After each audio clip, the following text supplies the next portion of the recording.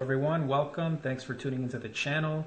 And in today's video blog we're actually going to be discussing the full life cycle of an online business. Now this is very congruent with what we were discussing a couple days ago with uh, basics of online marketing. When we, we broke that article down into three steps this one's a little bit more extensive. It adds another three steps to make it a total of six and it's a full cycle. Now all the details are in the article as usual but uh, what we wanted to do uh, for you today is just list them off uh, so that you are aware of what they are.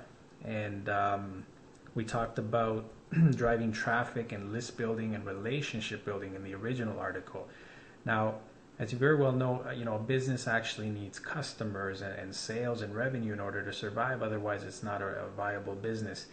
But we know that it's, it's, not something that happens overnight, and it's not something that you can just um, it's not something that's easy to do, is what I'm trying to say. So, in addition to the three addition to the three previous steps that we discussed, we then start adding value, and we start introducing our actual products and services.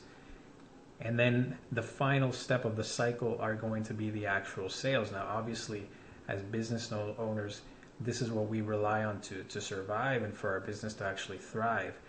But a lot of business owners do make the mistake of putting that at the forefront and making it the primary objective and just here's my products, here's my services, uh, you know, buy from me now, or you know, sell, sell, sell. That's the mentality that a lot of people have, and um, consumers these days are conditioned to automatically resist that, and people like to shop around and they don't like to be forced into buying anything. As a matter of fact, so that's where the cycle come, puts that into perspective for us as um, people that provide services or products. We need to understand how consumers think, and um, the the cycle in the article is, is explained in a little bit more detail so that you can put into perspective how you should be presenting or how you should be getting to that fifth and sixth step where you're able to uh, introduce your products and do more of soft selling instead of hard selling and then start commanding loyalty from customers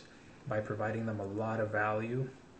And uh, so feel free to read the article, it'll explain in much more detail how you can leverage these six steps of the cycle, um, primarily in online business, but it, these are principles in marketing that apply also to small businesses offline. So you're welcome to check that out. Thank you as always for visiting us today, and we'll see you next time.